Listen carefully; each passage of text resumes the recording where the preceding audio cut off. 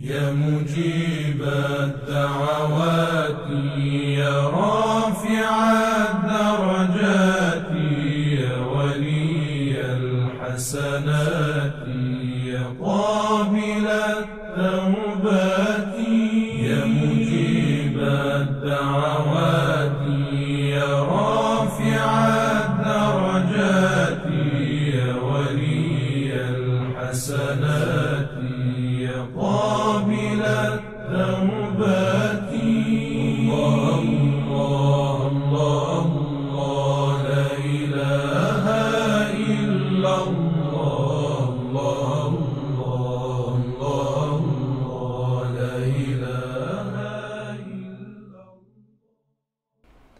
Билляхи минаш шайтан раджим. Бисмиллахи рахман рахим. Ассаламу алейкум, уважаемые братья и сестры. Рады приветствовать вас на нашем телеканале Хади ТВ3, на передаче, которая посвящена этому великому месяцу и священному месяцу, месяцу Рамазан. И специально по этому поводу у нас сегодня в гостях э, уважаемый Худжатуль Ислам Аль-Муслимин Шейх Гурбан. Ассаламу алейкум, Шейх Гурбан. Алейкум ассалам рахматуллахи И вместе с Шейхом Гурбаном мы на прошлых, э, на позапрошлых передачах э, указали на хадис, в котором говорится, что в месяц Рамазан открываются двери рая, а также закрываются двери ада. И также мы сказали, что э, с помощью э, принятия руководства и стремлению к Корану можно достичь э, очищения. Также мы сказали, что этот священный месяц является э, месяцем Гаямом, что в переводе, э, что в переводе означает э, месяц стояния. Также мы сказали, что этот месяц также является месяцем Махфира, что в переводе означает прощение. И, как мы сказали, и, и также является Шахру Тугу, что означает в переводе месяц очищения. И вот, э, уважаемый Шах Гурбан, хотелось бы продолжить э, наш разговор об этом. Прошу вас. أعوذ بالله من الشيطان الرجيم بسم الله الرحمن الرحيم وبه نستعين وهو خير ناصر ومعين والصلاة والسلام على سيد الأنبياء والمرسلين وعلى آله الطيبين الطاهرين المعصومين ولعنة الدائمة على أعدائهم أجمعين إلى قيام يوم الدين Я прежде всего э, приветствую дорогих телезрителей Хади ТВ3 и, конечно же, хочу поздравить с днем рождения его светлости э, имама Хасана Муштабы, алейхиссалату вассалам, старшего внука пророка Мухаммада, саллаллаху алейхи вассалам, потому что сегодня 15 число, э, 15 числа месяца Рамадан, родился его светлость, Э, он, назб- он был назван самим пророком Хасаном, потому что когда он родился, Фатима Тузара, саламу его мать, дочь посланника Аллаха, предложила назвать, дать имя своему мужу, то есть Али ибн Абу Тальба, алейхиссалату вассалам. Но его светлость не посчитал э, своим правом, э, посчитал, что при наличии его светлости пророка Мухаммада, саллаллаху алейхи он не имеет права на подобный шаг и предоставил эту возможность его светлости пророку. Его светлость назвал э, своего старшего внука Хасаном. Хасан переводится, если переводить, конечно, имеет несколько уровней смысла. Один из э, самых поверхностных это красивый, а также добродетельный может перевестись. Добродетельный, красивый. А, Нужно подчеркнуть, что его светлость имам Хасан, Муштаба, алейхиссалату вассалам, был одним из имамов мусульманской общины, был одним из халифов и наместников Аллаха и его посланника на земле, а, подчинение которому является подчинением самому Аллаху, подчинением посланнику Аллаха. А, И он был одним из тех, то есть наместники и халиф Аллаха на земле, это те, которые, те, о которых э, Всевышний в Коране говорит «Улиль амр» – обладатели власти, обладатели дела. «Улиль амри минкум» – обладатели власти среди вас. Уважаемый Шейх Гурбан, я прошу прощения, давайте поговорим о, о- кратко поговорим о его биографии. Где и при каких условиях родился имам Хасан? А, Его светлость имам Хасан, алейхиссалату вассалам, родился в Медине, после переселения его светлости пророка Мухаммада, саллаллаху алейхи ва вассалям. А, Ну, если мы будем говорить о его биографии, это займет довольно-таки много времени, и я хочу обратить внимание на то, а, кем являлся его светлость. Да, конечно. Чтобы, чтобы люди сами э, сделали шаг в сторону познания его светлости имама Хасана, алейхиссалату вассалам. А он был одним из тех людей, которым сам Всевышний в Священном Коране приказал подчиняться, сказав, подчиняйтесь посланнику Аллаха, подчиняйтесь посланнику, сказано в Священном Коране, и подчиняйтесь обладателям власти среди вас. К величайшему сожалению, этот аят неправильно был понят большинством мусульман, и считается, что э, под обладателями власти подразумеваются все правители. То есть каждый, кто придет к власти, тот является обладателем власти, и, естественно, как следствие, э, сам Всевышний в Священном Коране призвал подчиняться всем правителям. Но это не так. Почему? Потому что э, в Священном Коране сказано «Ати Аллах ва ати ур Расуль ва улил амри минкум». Подчиняйтесь Аллаху, подчиняйтесь посланнику Аллаха и подчиняйтесь обладателям власти, власти среди вас. То есть посланник Аллаха поставлен на один ряд с, с Аллахом. Подчинение Аллаху является подчинение посланнику является подчинением Аллаху. Ати Аллаха ва ати ур Расуль. Подчиняйтесь Аллаху и подчиняйтесь посланнику. И наряду с посланником поставлены обладатель власти. И поэтому никоим образом этот аят нельзя толковать так, что каждый правитель является улилямер, то есть обладателем власти, которому, которым Всевышний приказал подчиняться. Почему? Как это каждый правитель может стоять на одном ряду с посланником Аллаха? Пос- Наряду с, и рядом с посланником Аллаха могут стоять только те, которые являются его наместниками, являются его халифами, его преемниками, как духовной точки зрения, в первую очередь с духовной точки зрения, духовные являются его преемниками. И поэтому Улил Амра, обладатель власти, это очень узкий круг людей, очень узкий круг лиц, одним из которых является как раз таки а, имам Хасан ибн Али аль-Муштаба, алейхиссалату вассалам, подчинение которым является обязательным. И именно поэтому очень важно, и в этой связи очень значимо, с моей точки зрения, указать на то, что его светлость очень долгое время после мученической смерти своего отца, своего великого отца Али ибн Аби Талиба, алейхиссалату вассалам, очень долгое время ввел войну с Муави ибн Абу Суфьяном и его сторонниками, его последователями, самиятскими э, узурпаторами, самиятскими тиранами и угнетателями. И этот факт, этот момент в жизни имама Хасана Муштабы, алейхиссалату вассалам, очень многие говорят, э, я подчеркну, в, в жизни его светлости фигу- фигурирует такой момент, как заключение мирного договора с Муавией. Вот э, не могли бы эту историю как бы вкратце рассказать с самого начала? Почему это вообще произошло? Ну, началось это, конечно же, еще намного раньше этого, намного раньше, и, эм, еще во времена, наверное, это, это, это вообще событие, это противостояние получило начало еще во времена пророка Мухаммада, саллаллаху алейхи Э, когда Абу Суфьян враждовал с его светлостью, и потом они были вынуждены принять ислам, приняли ислам и были амнистированы со стороны его светлости пророка Мухаммада, саллаллаху алейхи ва саллям. А, И когда пришел к власти истинный и настоящий преемник посланника Аллаха, саллаллаху алейхи ва саллям, а именно Али ибн Аби Талиб, алейхиссалату вассалам, они посчитали своим долгом поднять восстание, поднять восстание против него, против истинного и законного правителя, законного халифа, законного наместника, посланника Аллаха, саллаллаху алейхи ва саллям. И дело закончилось тем, что его светлость Али ибн Аби Талиб, алейхиссалату вассалам, ну история довольно-таки длинная, все это пересказывать не буду, а, Его светлость был убит в месяц Рамадан. А, В будущем э, мы также коснемся этого вопроса, так как одним из э, дней Рамазана это день мученической смерти его светлости Али ибн Аби Талиб, алейхиссалату вассалам. И после этого халиф, халифом стал имам Хасан.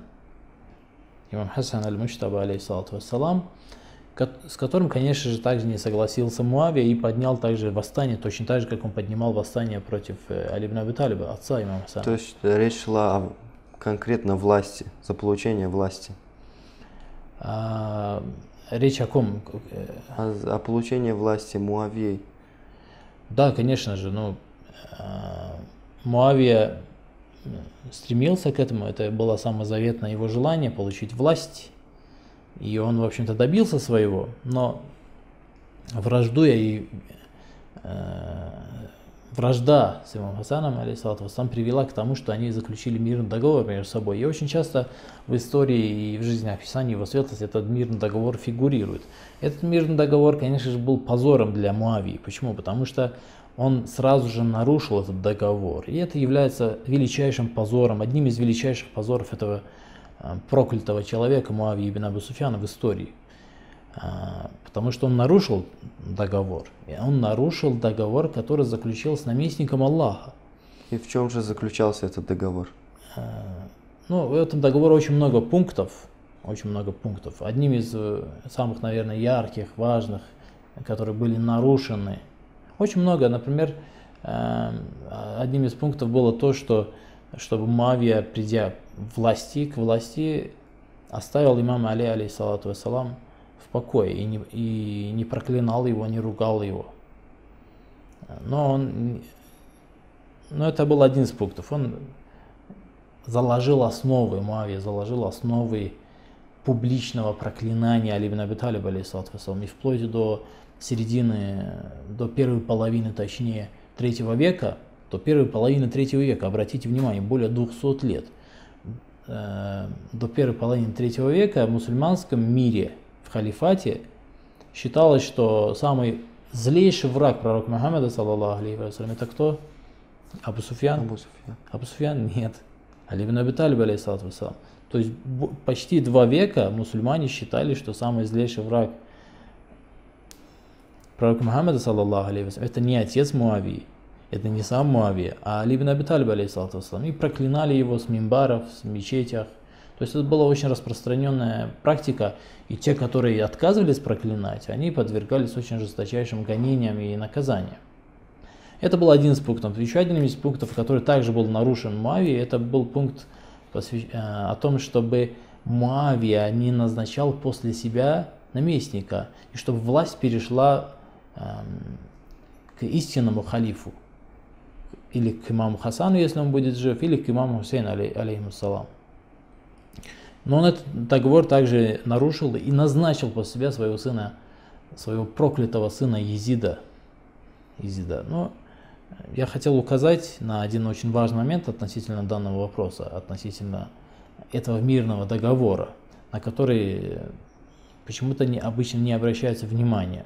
И когда сравнивается имам Хасан, алейсалату с имамом Хусейном, то возникает такой вопрос, что как это имам Хусейн, алейсалату до конца враждовал с Езидом до тех пор, пока он не стал мучеником, а имам Сан, алейхиссалату вассалам, заключил мирный договор. То есть как это так получилось? Уважаемый шейх Гурбан, я прошу прощения. А, мы вынуждены прерваться на короткую паузу, после чего мы вернемся и уже продолжим а, говорить об этой теме. Уважаемые телезрители, не переключайтесь, оставайтесь с нами. Мы вернемся после короткой паузы. يا مجيب الدعوات يا رافع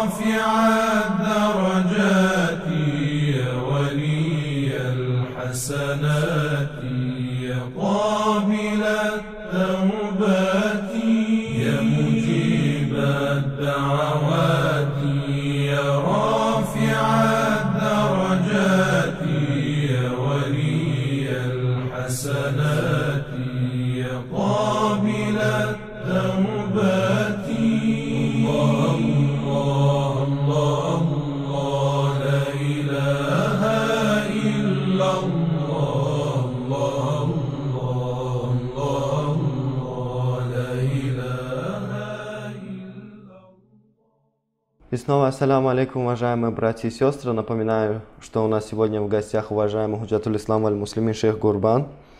И э, шейх Гурбан э, начал обсуждать э, такой немаловажный вопрос, как почему имам Хасан пошел на компромисс, а имам Хусейн бился до последнего. Прошу вас.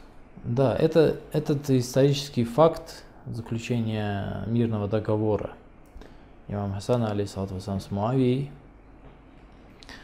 послужил причиной того, что некоторые невнимательные историки, невнимательные исследователи истории посчитали, что это разные подходы, то есть это разная методология. То есть методология имам Сана, алейхиссалату вассалам, который шел на компромисс, как они утверждают, и методология имама Хусейна, алейхиссалату вассалам, который ни при каких обстоятельствах не согласился на компромисс с Езидом и не, не соглашался с ним а, заключить мирный договор. Но эти люди, они забывают об одном очень важном факте, что а, имам Хасан, алейхиссалату вассалам, он, он очень долгое время воевал с Моавией, он вел войну с ним. И согласился он, обратите внимание, это очень-очень-очень важный момент. Согласился он на мирный договор только тогда, только тогда, когда он потерял собственное войско. Собственное войско. Это как, каким образом произошло? Э, не секрет, что одним из э, самых эффективных методов Муавии был подкуп. Он подкупал.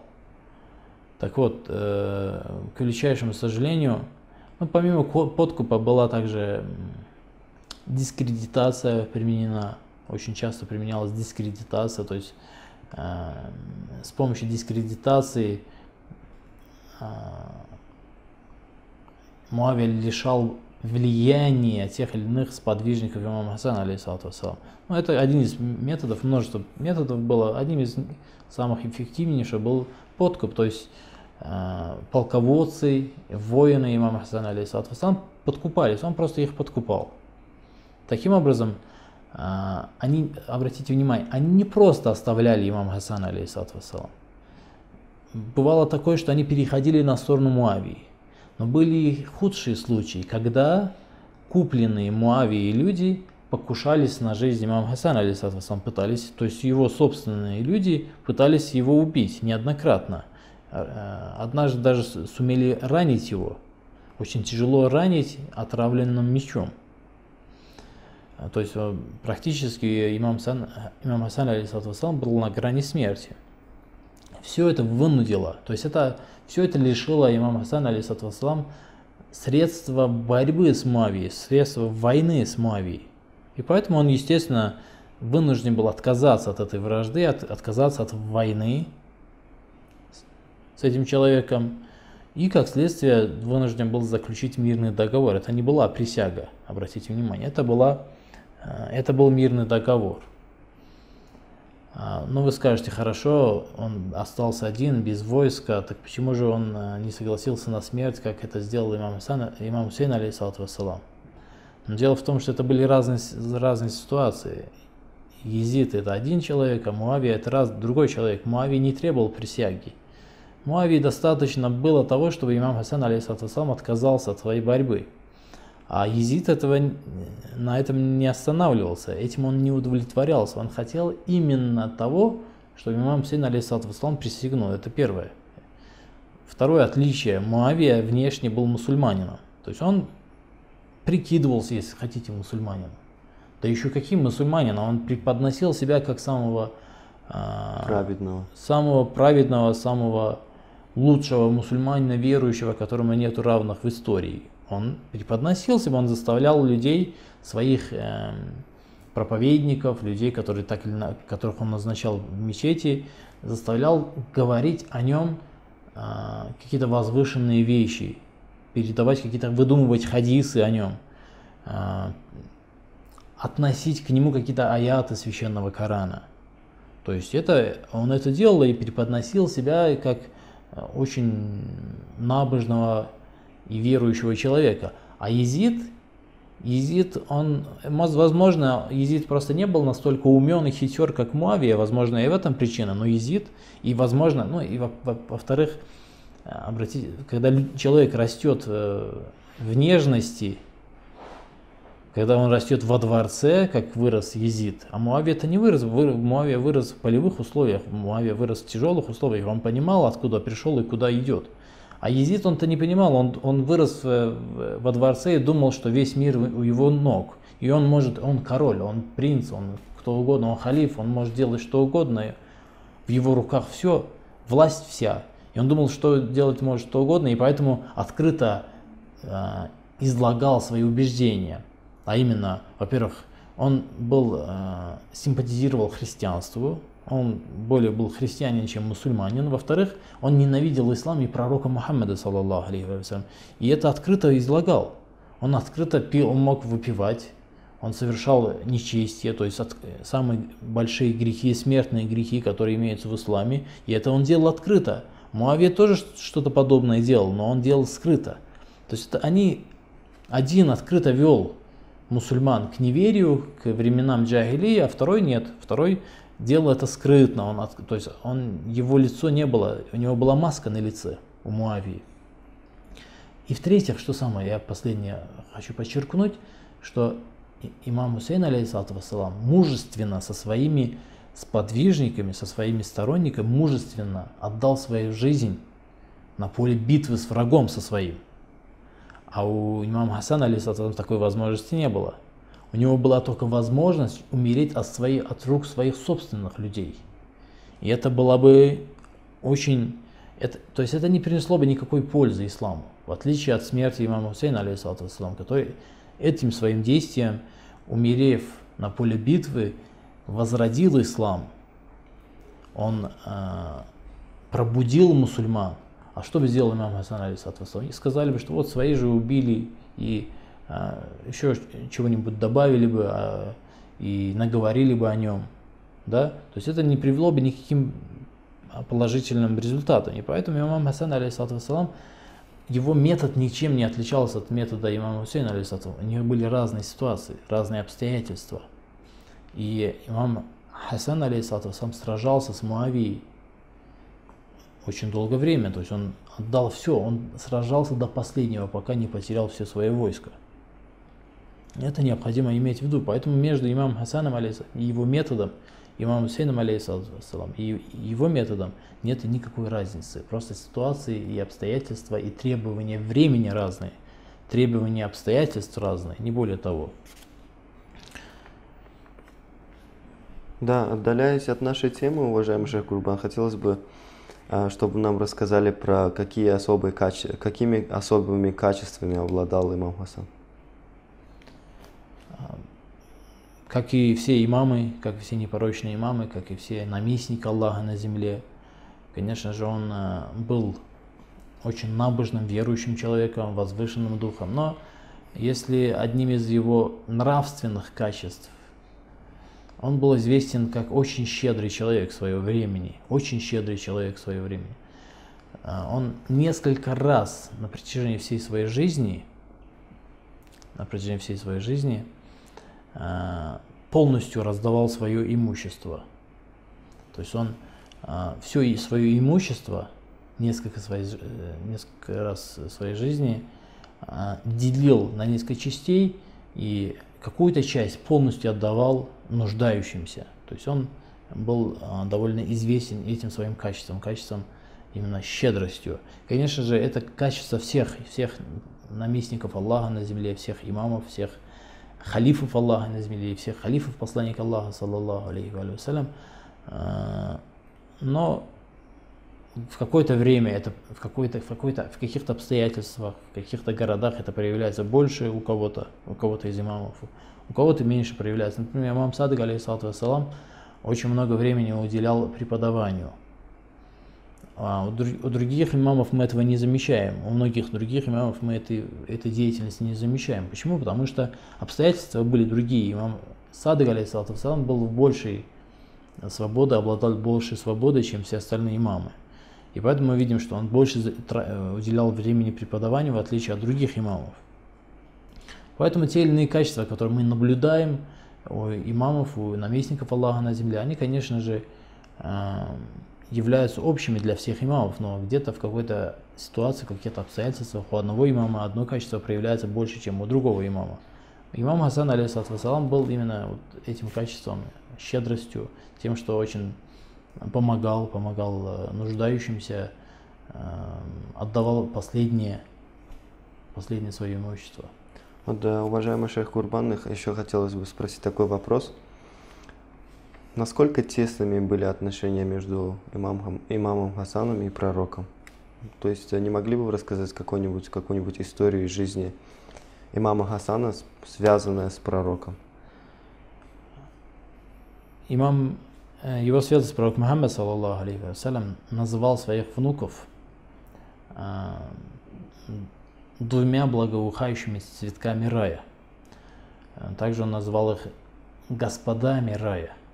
Конечно же, как говорится в Священном Коране, «Вама янтику анил хава», что посланник Аллаха, «Ин хуа илля вахюн юха», что посланник Аллаха, саллаллаху алейхи вассалям, ничего не говорит по своему, по своему желанию, ничего не говорит от себя. И все, что он говорит, все, что он говорит, это и есть откровение неспослаемое. И поэтому, конечно же, эти слова его светлости, пророк Мухаммада, саллаллаху алейхи вассалям, своих внуках, имама Хасане, имама Хусейне, это откровение. Это то, что было в откровении, то, что было внушено ему Всевышним. А, и, конечно же, как совершенный человек, такой как посланник Аллаха, саллаллаху алейхи вассалям, может относиться к господину юноши рая, или, как он говорил, к благоухающему цветку рая. Как он к нему может относиться? Конечно же, с максимальной любовью, что, им, что и проявляется в, в истории, то, что мы наблюдаем в хадисах, а, что наблюдаем в хадисах, что его святость пророк Мухаммад, саллаллаху алейхи вассалям, уделял, проявлял к нему, к имаму Сана, алейхиссалату вассалам, особую, особую любовь. Ну, мусульмане, большинство мусульман, я хочу подчеркнуть это, это заблуждение, и поэтому необходимо иметь в виду, приводя эти истории, эти хадисы, где его светлость проявляет любовь, особое отношение, особое уважение к имаму Хасану, алейхиссалату вассалам, они это толкуют как то, что это Э, отношение деда к своему внуку, не более того. Но это ни, никоим образом не так. Это отношение, отношение посланника Аллаха, саллаллаху алейхи вассалям, к наместнику и халифу Аллаха на земле. Это особое отношение. Это отношение берет начало в божественной любви. Это не отношение простого деда к своему внуку. Это не, это не, не любовь деда к своему внуку, ни в коем образом. Иначе мы видели бы такое же отношение э, к другим родственникам, другим своим э, каким-то рост, к тем людям, которым, с которыми он имеет, имел родственные отношения, в том числе и к детям. Большое спасибо вам, уважаемый шейх Курбан Данная вами информация была, надеюсь, что очень полезна для наших телезрителей. А на этом мы с вами прощаемся. Ассаляму алейкум рахматуллах. Уважаемые телезрители, мы подводим итоги нашей передачи на этом. А, желаем вам сил и терпения в этот, э, в этот священный месяц. А на этом мы с вами прощаемся. Ассаляму алейкум рахматуллах. يا مجيب الدعوات يا رافع الدرجات